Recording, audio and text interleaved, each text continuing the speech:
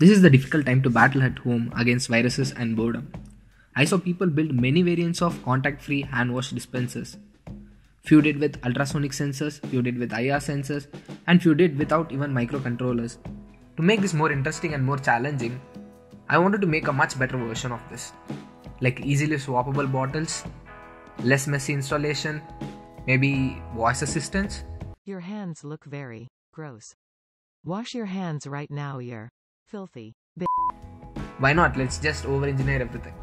And maybe we can use this knowledge in some other projects. So, without any further delay, let's get started.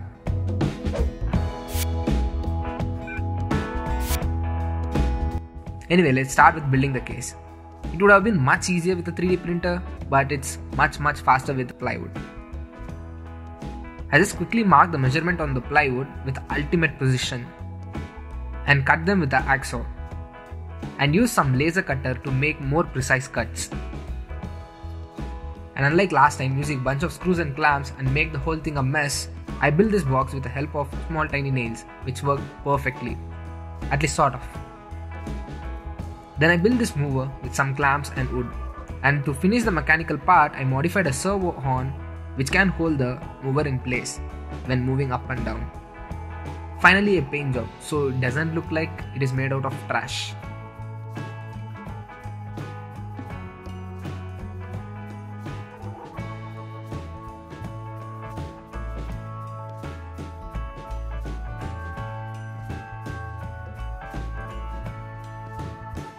Since the whole country is in lockdown, for electronics I have to salvage parts from other old and unfinished projects.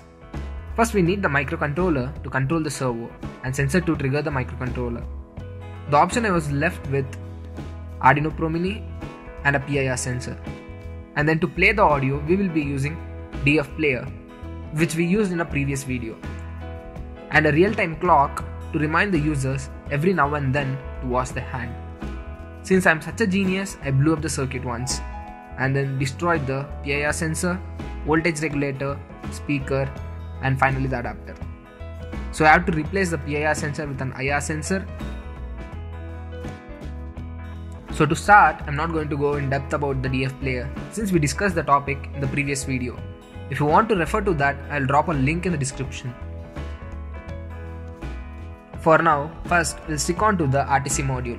The RTC module has a battery which keeps track of time even when the main power is disconnected to the circuit. To set up the RTC, connect the SDA SCL pin of the RTC module to A4 and A5 of the Arduino. Then connect the power supply to VCC and ground. When it's a brand new module, you have to set the time initially. Just download the DS1307 library from the library manager. Open the set time example this example will set the DS1307 RTC module to your system time. Hit compile and upload the code. Once this is done, you can read the date and time by using the read time example. The circuit is fairly simple because we are using the pre-built modules. So connect the RTC to I2C bus of the Arduino Pro Mini and connect the TX and RX pin of the DF player to pin 8 and pin 9 of the Arduino. And for the servo and the IR sensor to connect, we have some header pins. Then one LED for power and one LED to indicate the servo is moving. You can say a few components have magically changed. These are the result due to the faulty adapters and because of what I blew up. So I replaced the regulator with a buck converter since I was lacking a 6V 2 amp adapter and then to stabilize the inrush of current I used a 470 UF capacitor near the servo, VCC and ground. And that's it, you're pretty much done with the circuit. Now it's time for programming. The working is way simple than what you think. The sensor triggers an interrupt and changes a single variable. Then this single variable is compared in the main loop and the servo is moved along with the proper audio track that is played by the DF player.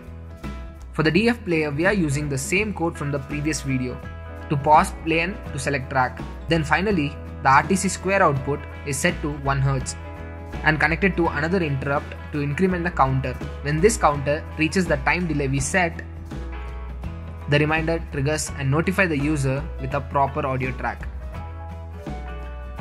And that's it for the code. Just hit compile and run the code. Then place the circuit on back of the case and screw them together.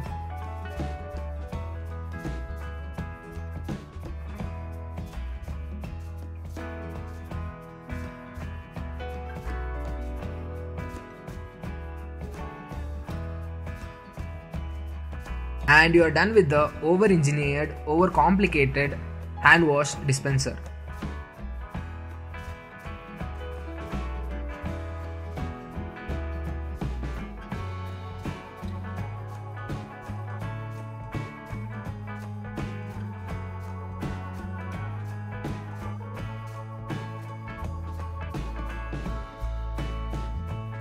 Dispensing now. Place your hand in the right position. Thanks for washing your hand. I will remind you to wash your hand after a while. Let's see if you guys can come up with something that I can build for COVID 19. And if you have any questions or ideas, just comment below. And to keep up to date with the channel, hit the subscribe button and allow notification. And if you think any of your friends might enjoy this content, don't hesitate to share this video. To keep up with the upcoming project, you can follow me on Instagram and you can check out my blog for written version of the videos I make. You can watch the other exciting videos from the link on the screen.